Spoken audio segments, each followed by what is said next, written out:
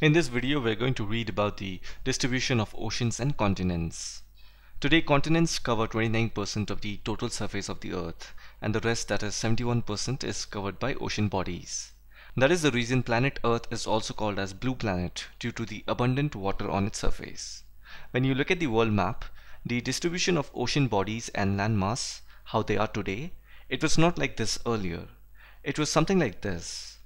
So in this chapter, we will understand how, why and what made them change so much that it changed from the picture on your left to the picture on your right.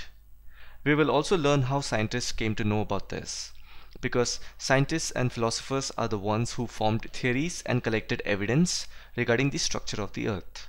Therefore, it gets very fascinating to know about their way and methods of coming to a conclusion, which every one of us today are reading about. Let's begin with the first topic, continental drift. Continental drift is a theory based on the fact that if you look at the coastline of both sides of Atlantic Ocean, which is these two places basically, you will see some similarity. It looks as if they were together as one landmass once upon a time and then it broke apart. And because of this observation, scientists believe that the two American continents, then Europe and Africa, they were once joined together. Initially there was this Dutch map maker Abraham Ortelius who came up with this observation about the three continents being together. But in 1912 it was a German meteorologist by the name of Alfred Wegener who gave a comprehensive argument in the form of continental drift theory. Because he thought that the continents are drifting away from each other, I've made a separate video on this topic, the theory of continental drift and the evidence in support of this theory. You can find both the videos link in the description. Please have a look at it. So far we have studied about what is the continental drift theory and what are the evidences in support of the continental drift theory. Now we are going to read about the forces behind continental drift theory. Alfred Wegener, the person who suggested the theory of continental drift, he suggested that there were two reasons behind it. First one is pole fleeing force and the second one is tidal force. Let me tell you in quick what these two forces are. By the name pole fleeing force, we can think of something that is fleeing away or running away from the pole. In this case, we are talking about the landmass that is fleeing away from the South Pole. Because initially it was considered that Pangaea was originated near South Pole and the Earth's centrifugal forces caused Pangaea to break apart and the resultant continents to drift towards equator. The second force that was suggested by Wegener was the tidal force. It is due to the attraction of the moon and the sun that develops tide in oceanic water. So Wegener believed that it is due to these two forces that worked for millions of years led to breaking of continents. Now there is a twist in this theory. Most scholars consider these forces to be totally inadequate, meaning they did not find enough strength in these two reasons that were suggested by Wegener, which ultimately led to the rejection of his theory.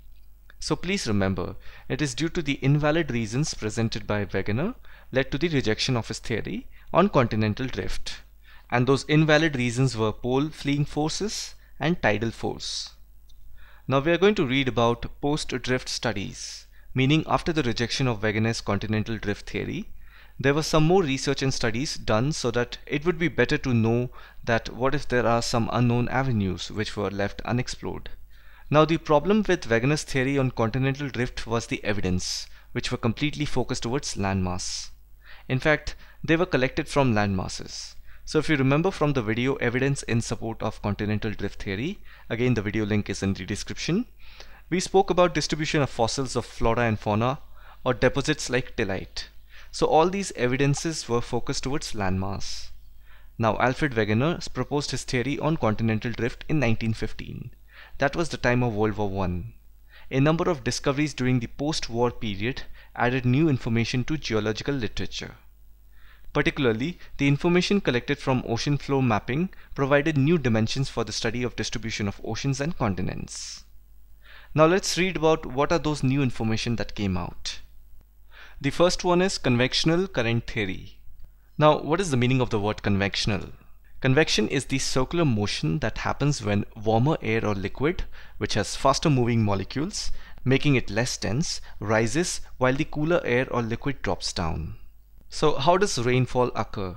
When warm air that goes up, it holds a lot of liquid, basically the moisture part. And when it condenses, the warmer air is cooled the moisture inside it, it breaks into liquid molecules and it falls down as rain. Now in the similar sense, there's this person called Arthur Holmes in 1930. He said that there is a possibility of convection current operating in the mantle portion. Now if you remember anything from the video, different layers of the earth, there I've discussed that the earth is divided into these layers, right? Crust, mantle and core. And especially mantle is divided into two parts, the upper mantle and lower mantle. And the upper mantle is also called as asthenosphere, which means weaker layer.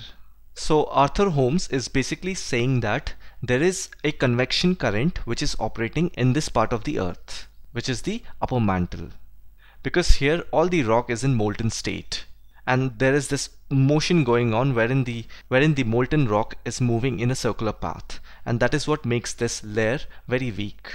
So Arthur Holmes says that there exists a system of such currents in the entire mantle portion. So this was a very major contribution to our understanding of how the earth works.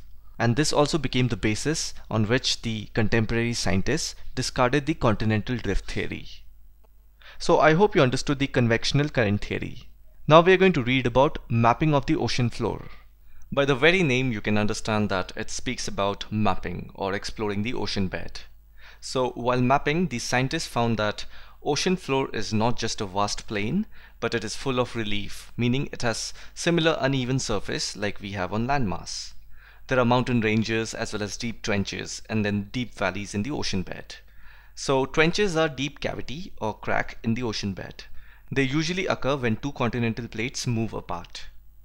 There's another thing called the mid-oceanic ridges. Uh, ridges are long mountain ranges. Now imagine how there could be a long mountain range inside the ocean. And the reason behind that is due to volcanic eruptions. So always remember, right under the crust we have the mantle. Mantle is again of two types, that is upper and lower mantle. But this mantle consists of molten rocks that keeps circulating. That is why the mantle is not a stable layer of the earth. So whenever there is a volcanic eruption, the magma comes out of the oceanic crust. It then becomes solidified rock after cooling. This solidified rock is also known as oceanic crust. And this oceanic crust after repetition forms oceanic ridge. Ridge is an uplifted landmass that looks like a mountain range. So what the scientists did was they took samples of rock particles from this ridge area as well as from the continental area. They just wanted to experiment and see whether which one of them is younger in terms of age. And it turned out that the sample of rocks that were collected from the ridge area is younger and that has to be obviously younger because the volcanic eruption is happening every now and then. So newer molten rocks are forming layers of oceanic crust. And this was an interesting finding which made the post-drift studies more real and valid. Now we're going to read about ocean floor configuration. Here the entire ocean floor has been divided into three segments and it has been done purely based on the depth as well as relief, meaning based on the looks. Let's read about each segment of the ocean floor. The first one is continental margin.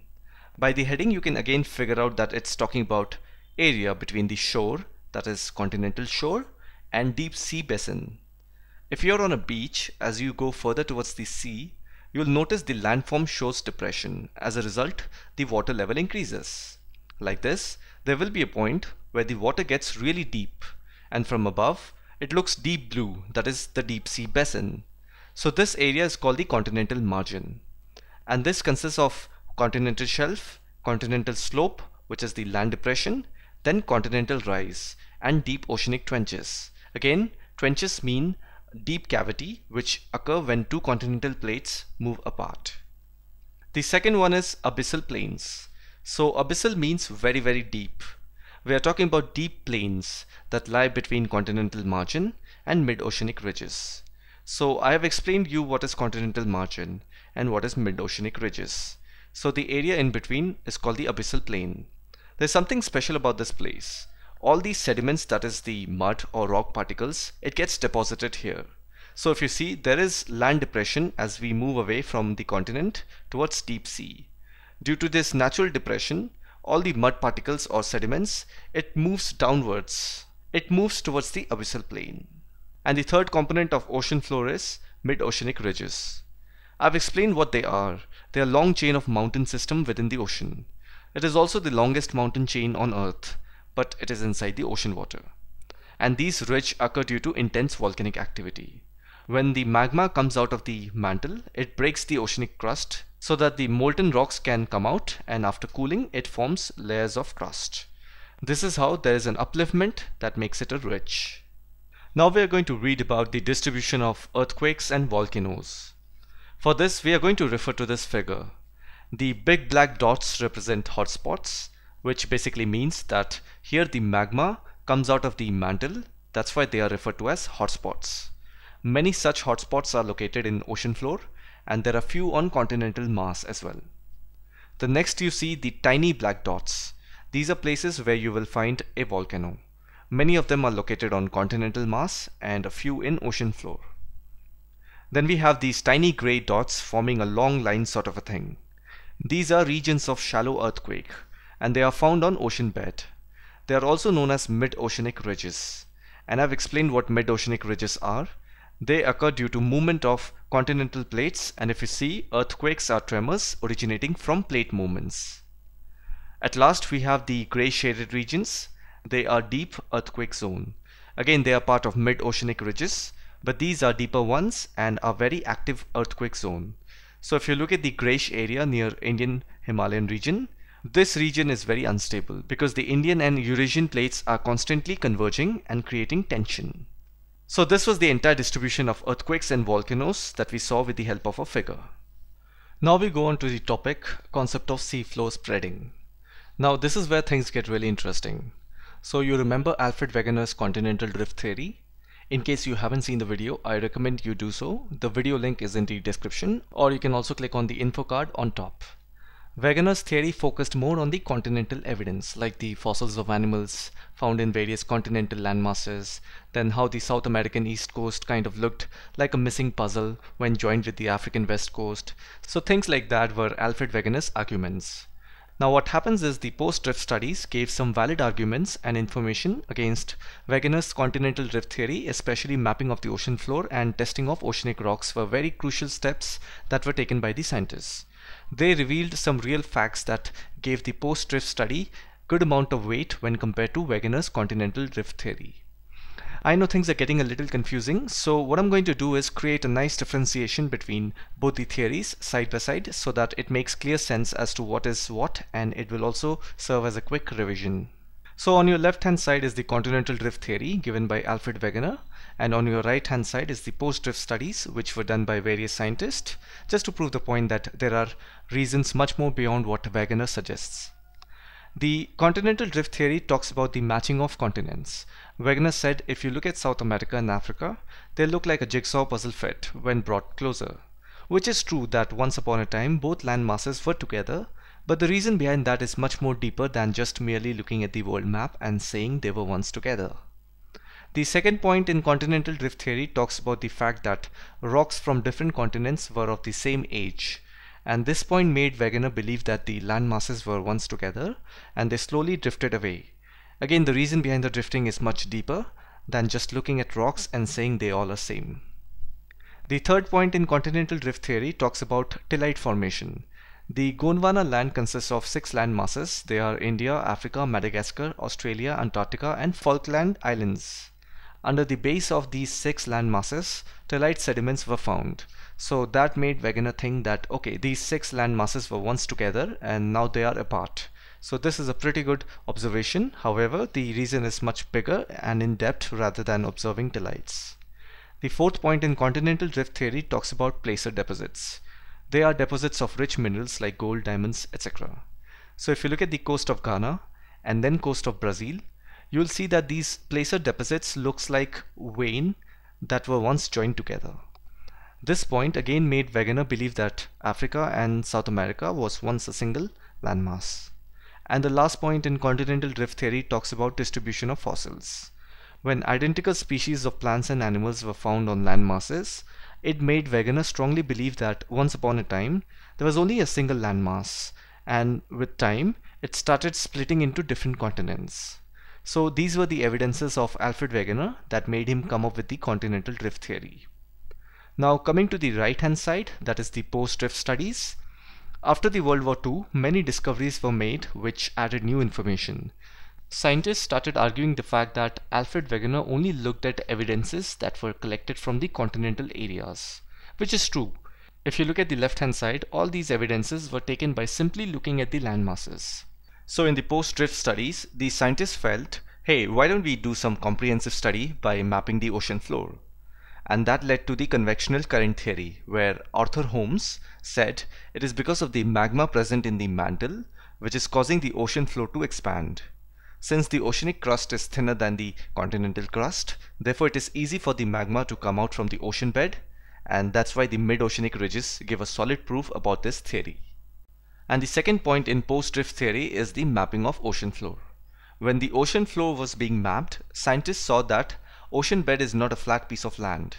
It has similar terrain, uneven surface, just like we have on land. This was an astonishing finding. And then they also went on to find mid-oceanic ridges on the ocean bed which are these long range of mountains that were formed due to the rocks that came out of the mantle in the form of magma. And when scientists took samples of rock from the mid-oceanic ridges as well as from the continental side, they found that the rocks from the mid-oceanic ridge were comparatively younger in age. Hence, they concluded as we move away from the mid-oceanic ridges, the age of the rocks increases. So this was the post-drift studies which totally focused on the concept of sea seafloor spreading. That is, the ocean floor gets pushed to the opposite side due to volcanic eruptions at the crest and making the seafloor spread and it was presented by Harry Hess in 1961. Whereas the continental drift theory by Alfred Wegener focused on the argument that all the continents were once upon a time a single continental mass named Pangaea and then this single continental mass began to split into smaller ones and that's how the world looks today. So if you see two totally different theories proposed by two different people. Hold on, we are not done yet. Now we have a third concept which brings us to the topic plate tectonics. Now this is the third concept that tries to answer the questions related to distribution of oceans and continents. If you see, this entire chapter so far has been trying to answer the questions related to distribution of ocean and continents. I mean, that's what the title says and we have so far seen two theories. The concept of plate tectonics was presented by Mackenzie, Parker and Morgan, three people in 1967, just after six years of Hess's sea floor spreading theory. So what the plate tectonic concepts say is the lithosphere, which is also the combination of crust and upper mantle, it is in the form of irregular slab of solid rock. So think of the lithosphere as a large plate and now when a plate breaks, this is exactly what it looks like. When we say irregular slab of solid rock, this is what the plate tectonics concept is suggesting. So we know that lithosphere consists of crust and upper mantle, and the crust is both continental as well as oceanic in nature. The oceanic crust is thinner than continental, but in general it is one complete crust. Hence the lithosphere covers both ocean as well as land. And now when we think of a plate, we can easily relate that a plate consists of land as well as ocean. Doesn't matter which of the two occupy a larger portion of the plate. Now let's look at the world map. According to this new concept, which is plate tectonics, our entire Earth's surface is divided into seven major and some minor plates. And these major plates are, the first one is Antarctica and the surrounding oceanic plate and the second one is North American with Western Atlantic floor separated from South American plate along the Caribbean Islands plate. The third one is South American with Western Atlantic floor spreaded from the North American plate along the Caribbean Islands plate. And the fourth one is Pacific plate. And the fifth one is India, Australia, New Zealand plate. And the sixth one is Africa with the Eastern Atlantic floor plate. And the seventh one is Eurasia and the adjacent oceanic plate. Now let's look at some minor plates. The first one is Cocos Plate, which is between Central America and Pacific Plate. Then we have Nazca Plate, that is between South America and Pacific Plate. And then we have Arabian Plate, mostly the Saudi Arabian landmass.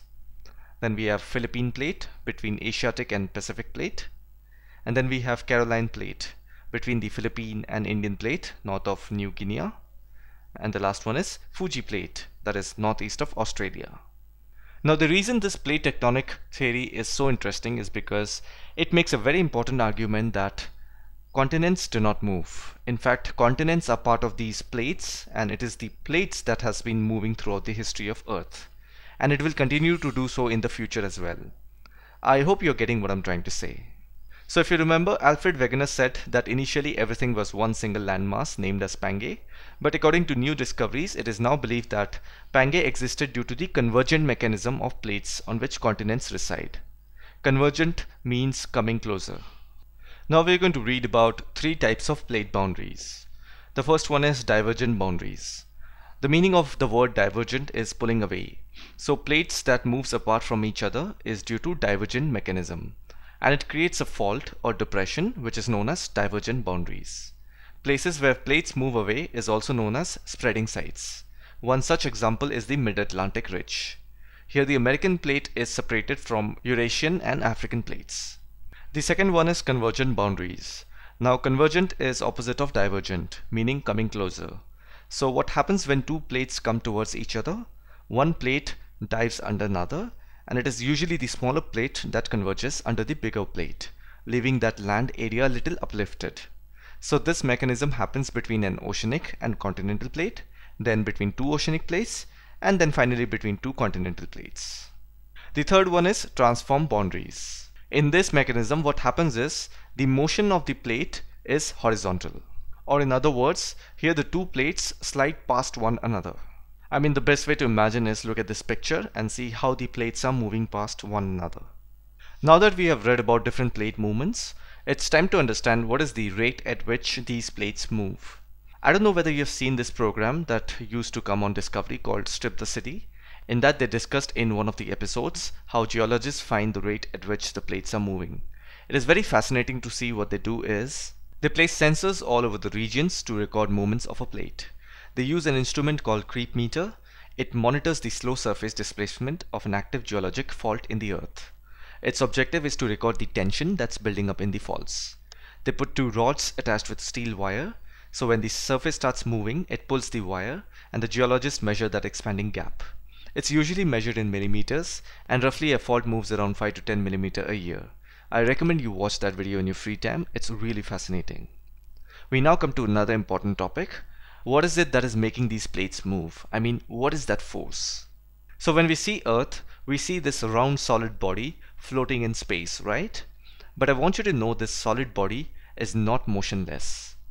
If you have seen my video on different layers of Earth, in that I have explained the mantle consists of molten rock and how this magma moves in a circular manner, making the upper mantle a weak layer. And from this weak layer, often heated material rises to the surface, spreads and then sinks back again. This cycle keeps repeating over and over to generate what scientists call a convection cell or convective flow. Again, you can go back and look at the convectional current theory that we discussed under post-drift studies. So to answer the question, what is the force that is moving these plates? The answer is, it is the soft mantle and the circular flow of heated material inside the earth, which is the driving force behind the plate movement. Coming to the last topic of this chapter, movement of the Indian plate. Okay, let me just quickly wrap up this topic in the most shortest and simplest form. Look at this picture. It's the movement of Indian plate. So initially India was part of this huge Australian plate. It was like India was a large island situated off the Australian coast. And this Australian plate was part of the Gondwana land. We are talking about 200 million years ago. Then India broke from the Australian plate and started moving upwards towards the Eurasian plate. About 40 to 50 million years ago, Himalaya started forming. And it is due to convergent mechanism. We have read about this when two plates come closer, a rapid uplift of land surface takes place. That's how Himalaya came up. Before all of this, in between India and Eurasian plate, there was the Tethys Sea and the Tibetan block. While moving upward, roughly around 60 million years ago, the Indian plate faced some events like outpouring of lava, and that's how the Deccan Trap were formed. And you'll find all igneous rock there. So igneous rock is formed from solidified lava. That's how we are sure of the volcanic eruption that happened on the Indian subcontinent. The Indian plate includes Peninsular India and the Australian continental portions. And then if you see the Indian plate, the northeastern side, it extends through Rakinyomo mountains of Myanmar towards the island arc along the Java Trench. So if you see the northeastern side is going inside of the Eurasian plate a little bit.